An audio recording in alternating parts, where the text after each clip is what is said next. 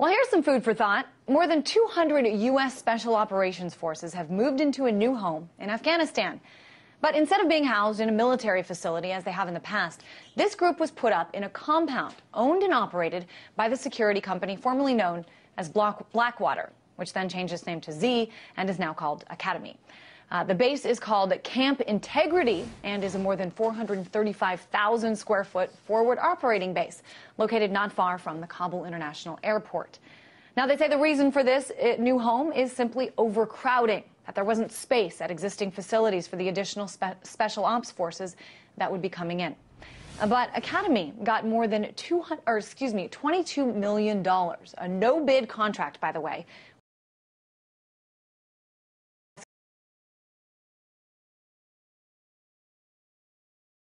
contract, uh, by the way, runs through May 2015, even though most U.S. forces are supposed to be home by 2014.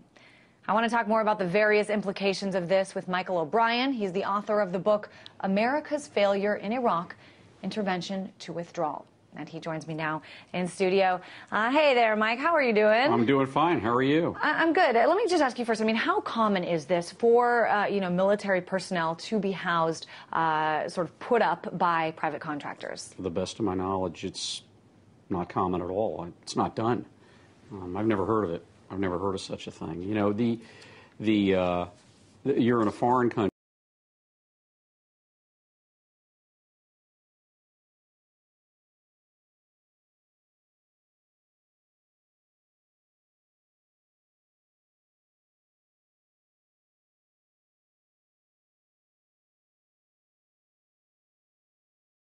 That you listed there, but they, they didn't, uh, you know, and, and they built, they, they might have built the bases and stuff like that, but they didn't, uh, to the best of my knowledge, this is a, a, base that it's a black, they own it. It's their, it's their base. They probably have some kind of a land lease uh, from, the, uh, from the government of uh, Afghanistan.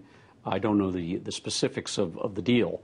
Um, but I've never heard of anything. I've never heard of anything like this. What about this aspect that, that it goes on that the contract, this $22 million contract, it goes through uh, May of 2015? I mean, do you think that tells us anything about what the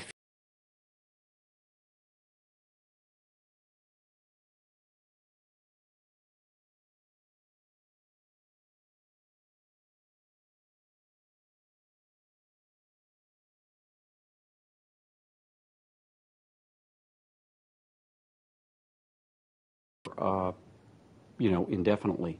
Uh, Iraq, same thing. I mean, all of our forces are not gone. Uh, there, still a lot of them are there, but it really big. It, it, there's a couple of things. First of all, is uh, I mean, really, why is this company still in business after the Nisour Square massacre in September of 2007 in Baghdad? why is the company still in business? Number one. Yeah, certainly. This is a company known uh, for for some of its uh, the contractors there uh, shooting and killing uh, multiple civilians. Oh yeah. It's been known for stealing weapons. Yeah.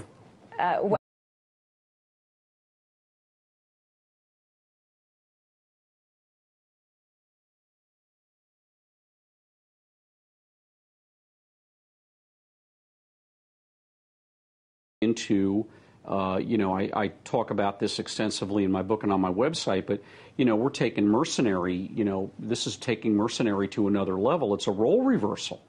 Uh, we have mercenaries operating on foreign soil out of American bases or out of their own compounds and safe houses, but now it's a role reversal. We have U.S. forces occupying, um, uh, you know, being, being housed uh, on a, uh, in facilities on a, on a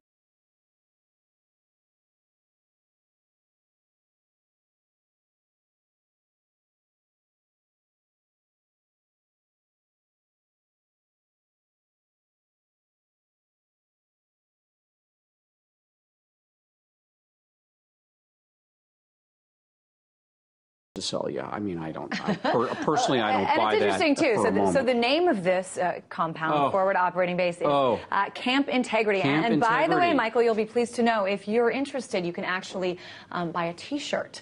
Um, there are T-shirts. We've had one up on the screen here. Uh, Camp Integrity. There it is.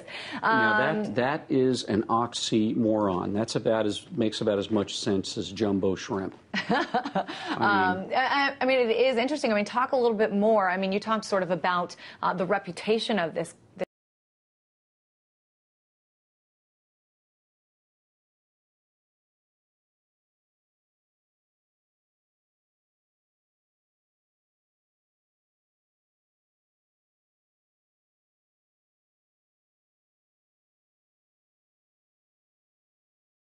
You know, after the Nisour Square massacre, how come they still maintain a government contract? How come they were not debarred, as the term is, from future government contracts?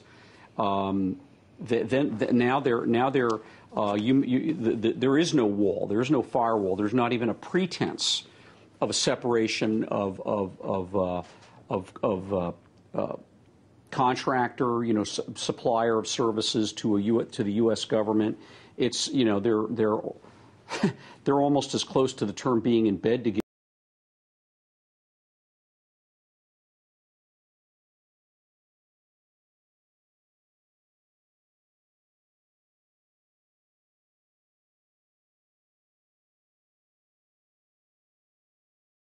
Have a, somebody go through and say, um, because this was a no-bid contract, we have to uh, make sure that it was a, a fair price was offered, uh, and you know it was the deal was good. So from what we understand, these these troops started being housed there in May of 2012. Well, this contract, um, read to me when this was signed. I don't know um, Okay, it's 31 August of 2012. Right. So that is three months after, uh, after they the were fact. already there. After the fact. Um, and, and, so, what, what do you think this says? This after the fact well, it's nice to see, it's nice to see that they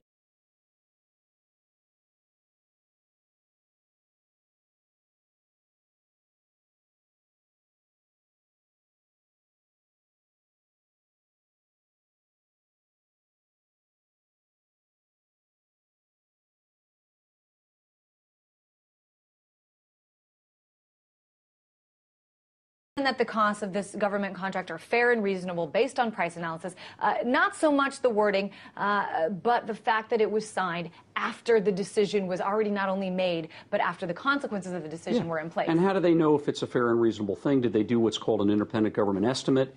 Uh, to compare that? Where's the justification that it had to be sole source or other than full and open competition? Uh, was it an emergency? Uh, was that the only vendor that could do that? Um, and, and the other thing is too, if they started doing it back then, in, in you know, in May and then signed it in August, uh, you know, where is the justification? It'd be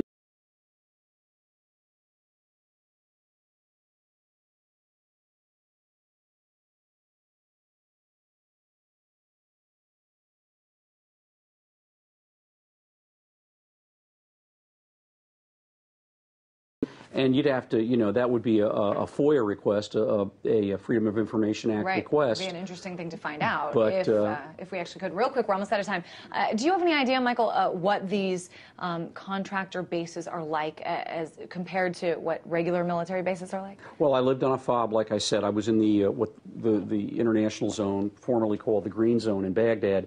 Um, but I, I, was on many, many fobs all around the country, and I would venture to say they probably are very, very, very much the same. Uh, HESCO barrier walls, you know, out in the middle of nowhere, or on a piece of land, I should say, near uh, near the airport there in Kabul. Probably a bunch of HESCO walls, probably a bunch of T walls. Uh, probably didn't take much to build. And then um, uh, trailers, prefab trailers with electrical and, and plumbing, basic plumbing. Interesting. And, okay. And, and, internet cabling. Yeah. Okay. Not a lot. Michael O'Brien, the author of America's Failure in Iraq. Thanks as always uh, for being here and sharing uh, your insight. Great. Thanks for having me.